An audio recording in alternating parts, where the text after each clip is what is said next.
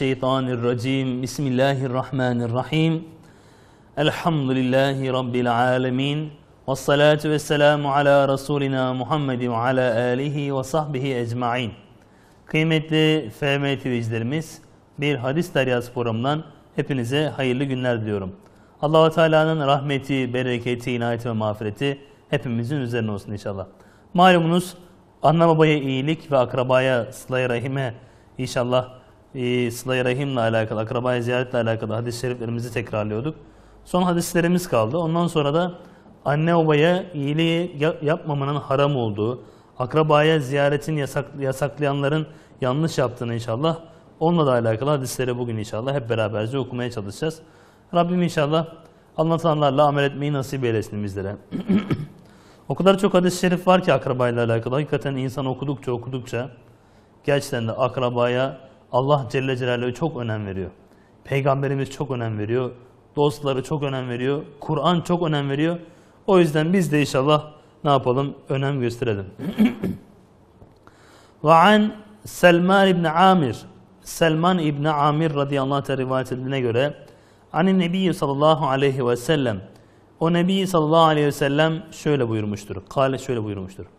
İza eftara ahadukum Sizden biriniz iftar yaptığında oruçluyken sizden birisi orucunu açacak olduğu zaman fel yuftir iftarını açsın. Ne üzerine? Ala temrin bir hurma ile yani hurma ile iftar yapsın.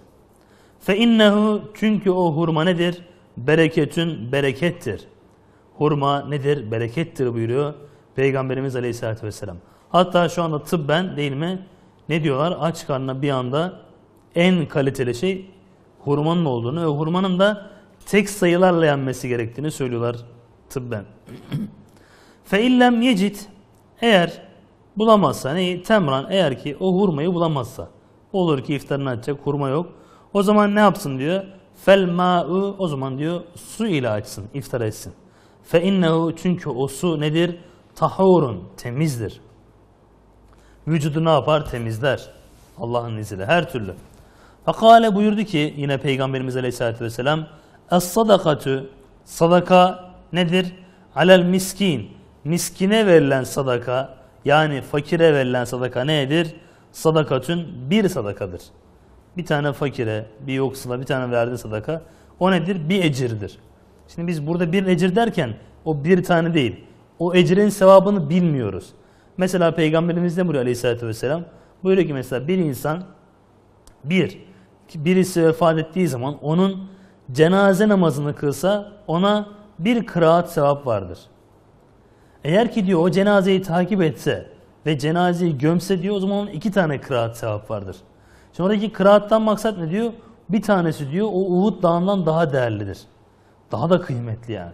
Düşünsene sana veriyorlar ki Uhud dağı sadece böyle ufak bir de tepe değil yani. Düşünün böyle toroslar. Bitmek bilmiyor mesela. O kadar sana altın vereceklerini düşün. Ki ondan daha da kıymetli. O yüzden ne diyor? Fakirle verilen sadaka sadece bir sadakadır. Ancak ve ala zir rahimi ancak diyor akrabaya verilen sadaka ise nedir? Tistani, sintani iki sadakadır. Yani bir insan fakire verdiği zaman ne oluyor? Bir ecir oluyor. Ama diyor bununla beraber sintani eğer ki diyor akrabaya verirse ona iki tane ecir vardır. Neden? Birincisi sadakatün o sadaka olduğu için. ikincisi de vasiletün ve ikincisi de o akrabaya yardım olduğu için. Evet kıymetli kardeşlerim. O yüzden ne yapacağız? Verirken de öncelikle yakınlarımızdan başlayacağız. Yakın kimdir? En başta kardeşlerindir. Yakın kimdir? Ailendir. Yakın kimdir? Amcan, dayın, halan, teyzen ve onların çocuklarıdır. Yakınları çoğaltalım. Yakın kimdir? En yakın komşundur. Yakın kimdir? En yakın arkadaşındır. Yakın kimdir? O meclisteki en yakın sohbet meclisindeki arkadaşındır.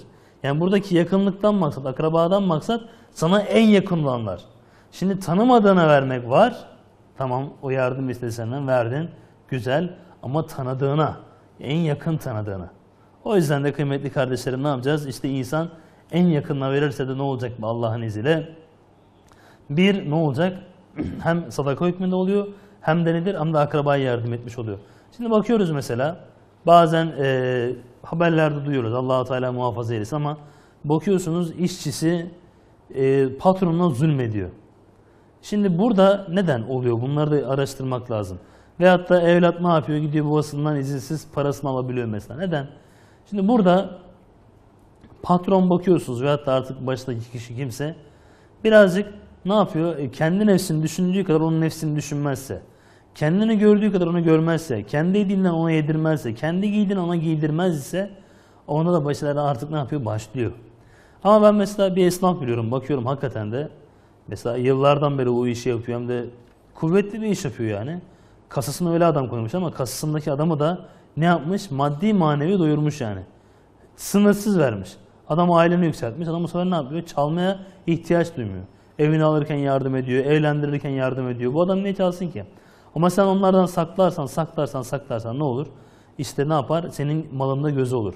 Bununla birlikte işte insan da en yakınındaki akrabaların sana bakıyor. Senin dairen vardır, kira gelirin vardır, değil mi? Şu vardır, bu vardır.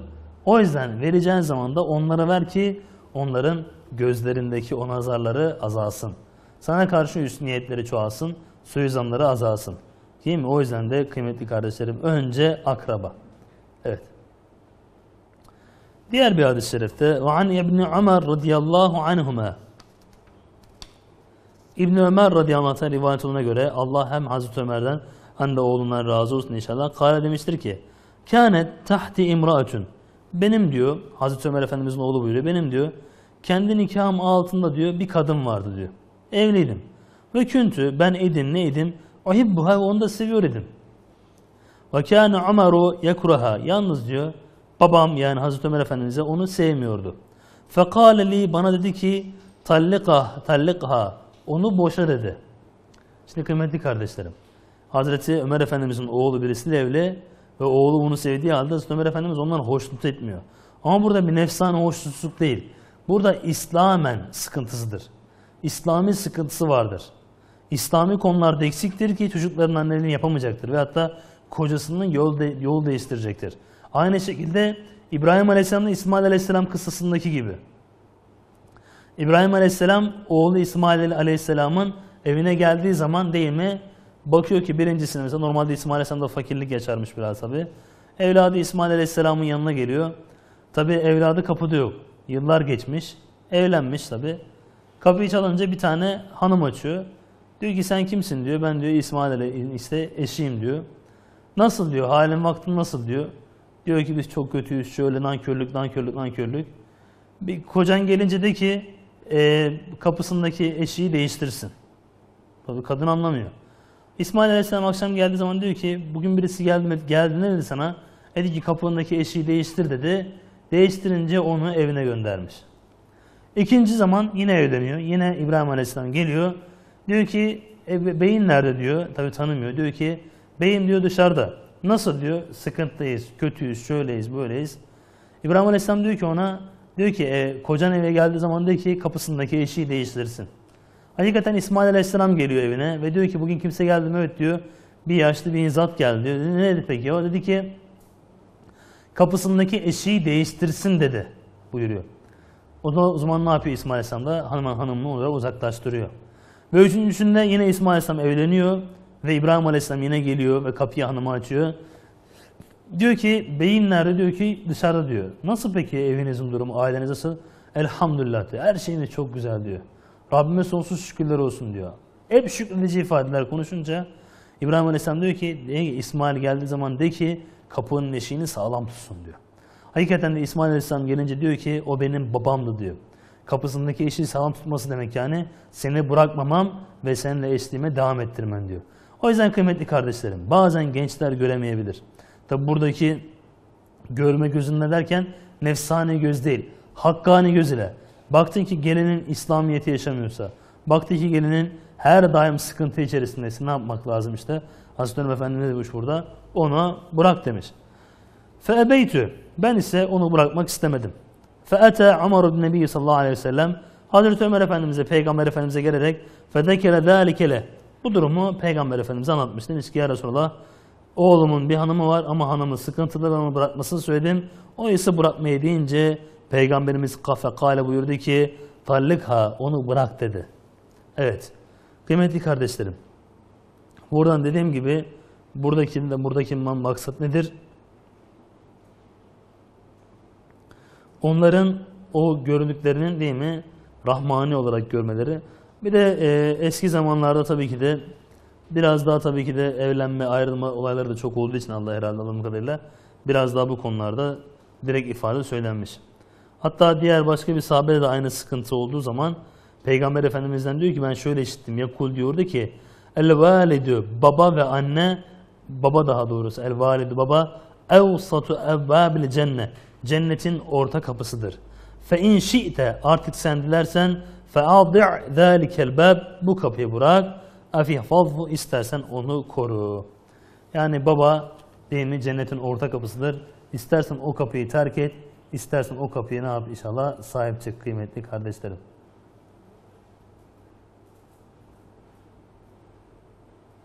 Evet. Diğer bir hadis-i şerifte ve anil Bara ibni Azib radıyallahu anhuma Bera ibn Azib radıyallahu anh rivayet edilmiştir ki anin Nebi sallallahu aleyhi ve sellem Peygamber Efendimiz aleyhissalatü vesselam kale şöyle buyurdu. Ele haletu hale yani Arapçada teyze demektir. Teyze nedir? Bimenzile, bimenziletil ümmi. Anne yerindedir. Başka bir şerifte anne yarısıdır.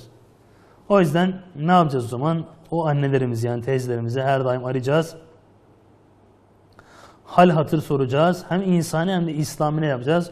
Onların hatırlarını, gönüllerini alacağız kıymetli kardeşlerim. Hatta ve hatta değil mi? Malumunuzdur ki e, Hazreti Ömer Efendimiz daha İslamiyetle müşerref olmadan önce dahi ne yapardı? Her daim ne yapardı? Teyzelerine odun taşırmış mesela. Onların hayvanlarını gidermiş. Niye? İslami olaraktan. Çünkü yakın akrabayla alakalı. Ve an Amir İbni Abese Amr İbni Abese radıyallahu anh rivayet edilmiştir ki kal demiştir ki Dehaltü alen nebi sallallahu aleyhi ve sellem ben dedi Peygamber Efendimiz aleyhissalatü vesselam yanına girdim. Nerede peki girmiş? Bir Mekke'te, Mekke'te girdim. Yani Mekke'deyken Peygamber Efendimizin yanına giriyor. Yani ne zaman? Fi evvelin nübüvve. Yani peygamberliğin yani nübüvvetin ilk yıllarındayken ben Peygamber Efendimizin yanına girdim. Fekultu leh. Ona dedim ki ma ente sen kimsin diye sormuş. Peygamberimize sen kimsin diye soruyor. Kâlen Nebi sallallahu aleyhi ve sellem o da buyurdu ki ben peygamberim buyurdu. Fekultu o sahabe dedi ki yine ben dedim ki ve ma nebiyyü peygamber nedir diye sordum. Kale peygamberimiz de buyurdu ki aleyhissalatü vesselam Erseliyallahu Teala allah Teala beni gönderdi. Fekultu ben dedim ki bi eyyi şeyin arseleke seni ne hangiyle görevle gönderdi deyince kal peygamber diyordu ki erseleni beni beni Rabbim gönderdi yolladı neyle bısıletil erham akrabayı yani sıla koruyup gözetmek için gönderildim. Hakikaten de ahlakın bozulmasındaki en büyük sıkıntılardan bir tanesidir. İnsanın kendi aile içerisindeki değil mi o muhabbeti kesmesi. E, bakıyorsunuz mesela eskiden hep bir kazanla belki bir, bir tasta çorba içenler bakıyorsun ki onlardan para ne yapıyor uzaklaşmasına sebep oluyor. Akrabalarla bağını kesiyor. Halbuki bilmiyor ki onun cenazesi olsa yine akrabası sahip çıkacak. Akraba nedir? En yakın olandır. Arkadaştan da aslında yeri gelir ne yapar? Yakındır. Ve kesril evthan ve putları kırmakla beni Allah gönderdi. Yıkmakla. Ve en yuvahhadallah Allah'ın bir olduğunu söylemek için gönderildim. La yushrake bihi şey'en ona hiçbir şeyi ortak koşmamak için gönderildim. Ve zekera tamamel hadis hadisin tamamında böyle zikretti ve alem vallahu alem Allah en iyi bilendir kıymetli kardeşlerim. Evet buradan da anlaşıldığı üzere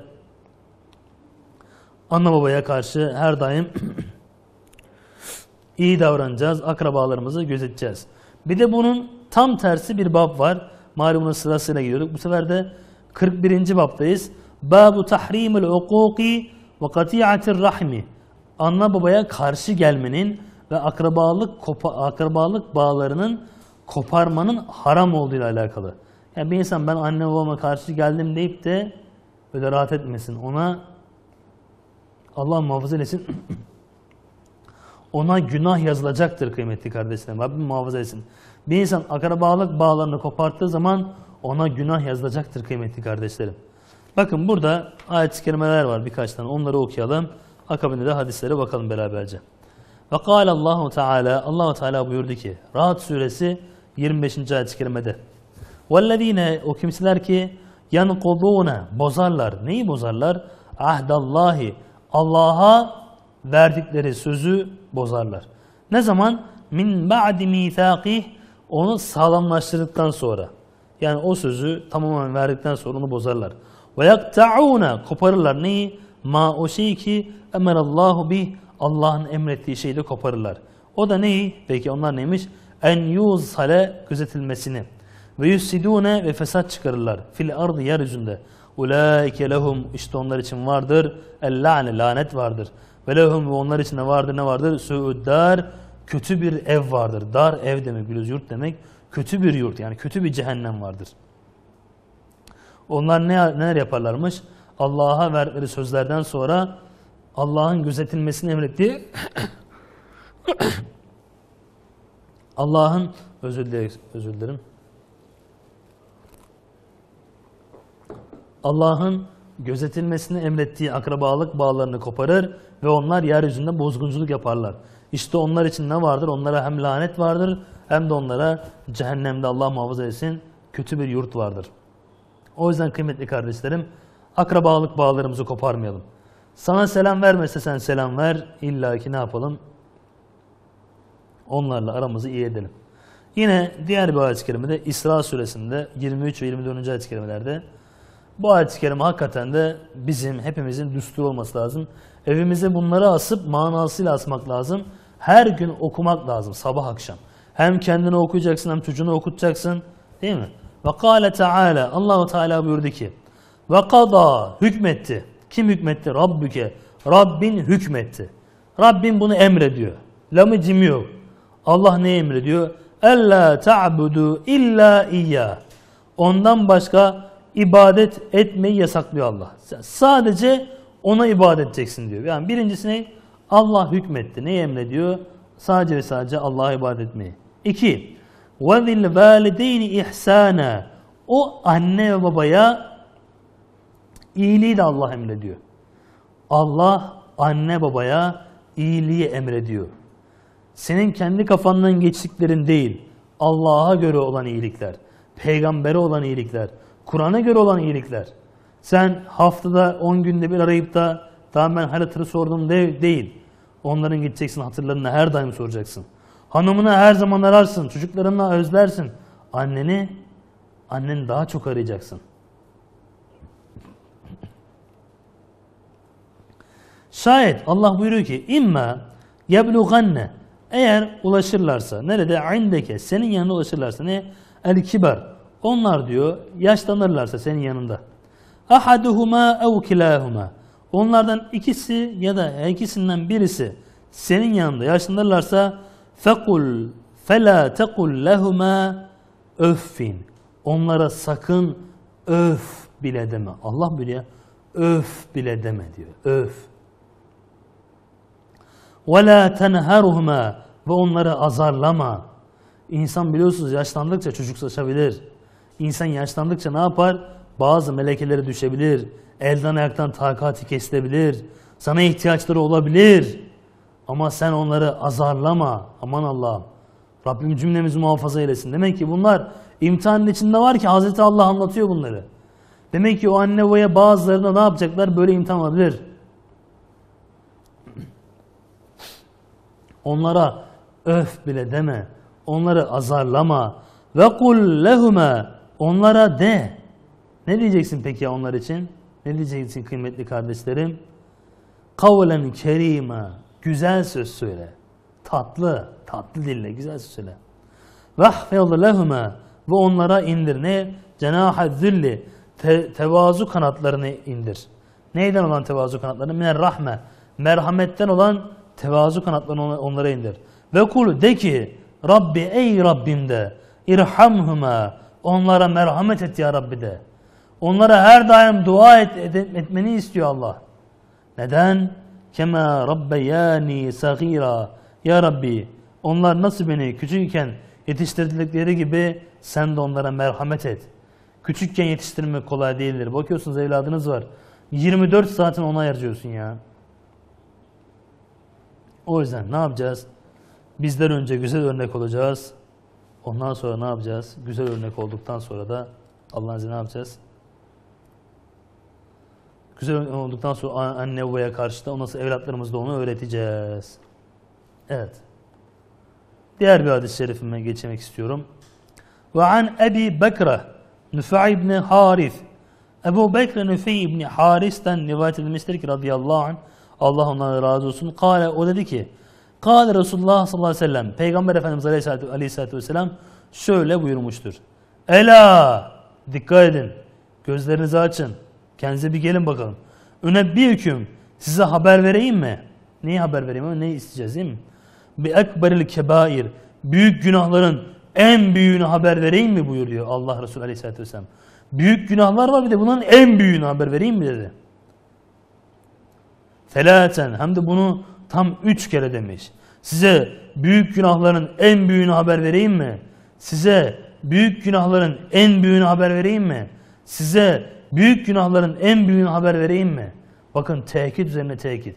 Yani kendine gel. Bak bunlar var ya bu söyleyecekleri şeyleri. Aman ha sakın ha düşme bunlara diyecek. Bakalım onlar neymiş? Fekunna biz dedik ki bela evet ya Resulallah evet ya Resulallah. Bunlar nedir dedik. Kale dedi ki birincisi el işrakü billah Allah'a şirk koşmaktır dedi. Şimdi biz anlamıyoruz ama hayatımız içerisinde yeri geliyor yanlış ifadeler kullanıyorsun. Yanlış şeyler söylüyorsun. Yeri geliyor. Ya yeri geliyor nefsani düşüncelerin var bir de rahmani düşüncelerin var. Nefsani düşüncelerini seçiyorsun. Allah namaza çağırıyor gitmiyorsun nefsini dinliyorsun. E sen ki ben Allah'ın kuluyum diyorsun ama nefsine itaat ediyorsun. Ama Allah'a şirk koşmak nedir? En büyük günahların en büyüğüdür. İkincisi ve hukuk ve hukukul valideyni ve ana babaya karşı gelmek. Bu da en büyük günahların en büyüğü. Hocam işte ben yardım ediyorum da diğer kardeşlerim yapmıyor. Ben de yapmayacağım deme. Onlar kaybettiler. Bak onları beğenmiyordun. Sen de mi aynı seviyeye düşeceksin? Sen yap. Düşün ki o anne baba hepinize bakar daha. Yine bakar. 90 yaşında sağlam olsan, 70 90 yaşında anne baba sağlam olsa, 70 yaşında evladı hasta olsa 90 yaşındaki o anne o baba yine o evladına bakar. Ama tam tersi olursa Allah muhafaza ölümünü mü bekliyorsun yoksa? Rabbim muhafaza etsin. Hiç kimsenin ama hiç kimsenin özel anne babanın ölümü beklenmez. Yok böyle bir şey. Bakın ne diyor? Büyük günahların en büyüğü o ana babaya karşı gelmek. Ve kâne müttekien. O Peygamber Efendimiz Aleyhisselatü Vesselam yaslanıyordu. Fecelese ve oturdu. Fekale sonra dedi ki Ela dikkat edin buyurdu. Ve kavlu zur yalan söz. Yalan subhanallah. Ve şehadetü zur ve yalan şahitlik de böyledir. Yalan söz de ve yalan şahitlik nedir? Günahların en büyüğüdür. Bakın Peygamber Efendimiz'e geldiler Aleyhisselatü Vesselam. Ya Resulallah mümin kul hırsızlık yapar mı? Evet dedi. Nefsine düşebilir yapabilir. Tabi yanlış ama düşebilir. Ya Resulallah Müslüman içki içer mi? Yanlış ama içebilir. Ya Resulallah Müslüman zina eder mi? Yanlış ama düşebilir. Ya Resulallah Müslüman yalan söyler mi? Müslüman yalan söylemez. İşte bu nedir? Müslüman öleceğini bilse daha yalan söylemez. Doğruyu söyler. İşte günahların en büyüğünün en büyüğü nedir? Üçüncüsüne söylüyor. Bir, Allah'a şirk koşmak. iki ana babaya karşı gelmek. Üç, yalan konuşmak ve yalan şahitlik yapmak. Şu anda mahkemelerde aman Allah'ım, aman Allah'ım. Hiç mi korkmazsın bere gafil? Aman Allah'ım. Ya. فَمَا زَالَ يُكَرِّهُ Onu daima tekrar ediyordu. Tekrar ediyor Peygamberimiz. Tekrar etti, tekrar etti büyük günahları. Hatta kulna biz dedik ki içimizden Leyletü seke. Keşke sussa peygamberimiz dedik. Yani çünkü gerçekten insanın zoruna gidiyor, ağrına gidiyor. Değil mi? Diğer hadis-i şerifte ve an Abdullah ibn Amr ibn As Abdullah ibn Amr ibn As'tan radıyallahu anh rivayet edilmiştir ki Anin Nebiyyü sallallahu aleyhi ve sellem Peygamber Efendimiz aleyhissalatü vesselam kâle şöyle buyurmuştur. El kebairu büyük günahlar nedir? Şimdi büyük günahları söylüyor Peygamberimiz aleyhissalatü vesselam. Nedir? Şimdi mesela abdest alırken ne yapıyorsun? Mesela küçük günahları döküyorsun. Sadakayla küçük günahları ne yapıyorsun? Temizliyorsun. Bir iyilikle küçük günahları temizliyorsun. Ama büyük günahlar kalıyor. Ancak işte büyük günahları ne yapacaksın? Büyük tövbeyle, hacla, umrelerle, büyük sadakalarla. Şimdi büyük günahın da büyük acısı olacak ki ancak öyle affettireceksin kendini. Mesela büyük bir günah mesela ne? Ramazan'da oruç tutuyorsun, orucu bozuyorsun bile bile. Bak Allah ne yapıyor? 60 gün kefare tutturuyor sana. Ne yapıyor? Büyük büyük büyük, büyük bir 60 gün arka arka peş peşe. Zor mu zor ama ancak böyle temizledirsin. İşte bu büyük günahlar nedir? El işrakü billah Allah'a şirk koşmaktır. Birincisi bu. İki, ve hukuk ve hukukul valideyni. O anne babaya karşı gelmek, itaatsizlik etmek, söz dinlememek, ana babayı saymamak. Allah muhafaza etsin. Üçüncüsü ve katlün nefsi ve adam öldürmek. Aman Allah. Allah'ın vermiş olduğu canı Allah'tan başka kimse alamaz. Ve dördüncüsü vel yeminul gamus ve yalan yere yemin etmek. Sıradan yemin ediyorsun. Adam senden mal alacak. Yemin ediyorsun. Vallahi şöyle, vallahi bilmem ne. Deme ya. Deme, deme. O yüzden ne yapacağız? Rabbim hepimizi muhafaza eylesin. Bu konularda çok dikkat edeceğiz inşallahurrahman. Evet. Diğer bir hadis-i şerifte an Ebi Muhammed Cübeyr ibn Mud'am Ebu Muhammed Cübeyr ibn Mut'im'den nakledilmiştir ki enne Resulullah sallallahu aleyhi ve sellem Peygamber Efendimiz aleyhissalatü vesselam şöyle buyurmuştur. La yedhulul cenne cennete giremez kim? Kati'un koparan kimse. Yani neyi koparan kimse? Akrabalık bağını koparan kimse cennete giremez. evet. Diğer bir hadis-i şerifte ve an Ebi İsel İsel Mughirad İbn Şu'be Ebu İsa Mughire İbn Şube radıyallahu anh rivayet edilmiştir ki Anin Nebi sallallahu aleyhi ve sellem Peygamber Efendimiz aleyhissalatü vesselam kâle şöyle buyurmuştur. İnna Allah Teala muhakkak ki Allah Teala harrame haram kıldı. Kime? Aleyküm size. Yani bize Allah haram kıldı. Neyi? Ukuka el ümmehat o annelere itaatsizliği Allah haram kıldı. Anne mutlak itaat var. Mutlak. Sadece haram konularında değil. Haşa. Ve men'an ve hakkı vermemeyi de Allah haram kıldı. Değil mi? Hakkı ne yapıyorsun? Vermiyorsun. Bile bile adamın hakkını vermiyorsun. O da haram. Ve hatin ve hakkın olmayanı da istemeyi Allah haram kıldı. Ve ve'del benat ve kız çocuklarını diri diri gömmeyi de Allah haram kıldı. Eskiden Peygamber Efendimiz zamanında cahiliye devrinde insanlar diri diri kızlarını gömüyorlardı. Ama şimdi diri diri değil gömmek diri diri nereye gönderiyoruz acaba ya? Bu açıklık, bu başörtü takmamak, bu kapanmamak, bu tesettürsüzlük, çocuklarımızı nereye göndereceğiz? Orada o çocuklar ufak yaşta gömüldükleri zaman, diri diri toprağa gömüldükleri zaman direkt cennete gidiyorlardı. Peki ya bizler şimdi kendi kızlarımıza sahip çıkmazsak onları nereye göndereceğiz? Allahu Teala muhafaza eylesin. Ve kerihe leküm ve sizin için çirkin kılmıştır. Neyi? Kıyle ve kale. Dedikoduyu. Aman Allah'ım. Allah çok çirkin görüyor dedikoduyu. Çok çirkin. Düşünsene senin arkandan dedikodu yapıyor. Çok çirkin. Ve kesrete sual ve çok soru sormayı da Allah ne yapmıştır? Çirkin görmüştür. Bazı şeyleri sen kendin çözeceksin. Yedâ'etel mal ve malı da israf etmeyi de Allah çirkin görmüştür. Evet. Ve fil bab bu konuda vardır. Ne ahadith hadisler vardır. Daha doğrusu çok hadisler vardır. Lakin diğer bir hadis-i şerifte ve akta'u men qata'ik eğer ki diyor her kim ki akrabalık ilişkisini keserse ben de ondan merhametimi keserim buyuruyor Peygamberimiz Aleyhisselatü Vesselam. Devamında da buyuruyor ki benimle ilgisini kesenden de Allah rahmetini keser buyuruyor. Evet kıymetli insanlar. Evet kıymetli müminler. Bugün inşallah bir konumuzun daha sonuna geldik. Ana babaya iyiliği anlattık. Sıla-i Rahim yani akrabaya iyiliği anlattık.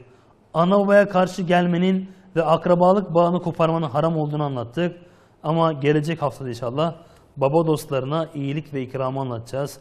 Rabbim Azze ve Celle anlatılanlarla en güzel şekilde amel etmeyi cümlemize nasip eylesin. O annemize babamıza karşı itaatkar bir evlat olabilmeyi ve bizden sonra gelen neslimize de güzel örnek olabilmeyi Rabbim cümlemize ikram eylesin. Hepinize çok teşekkür ediyorum. Hepinizi Allah'a emanet ediyorum. Esselamu Aleyküm ve Rahmetullahi ve Berekatuhu. Música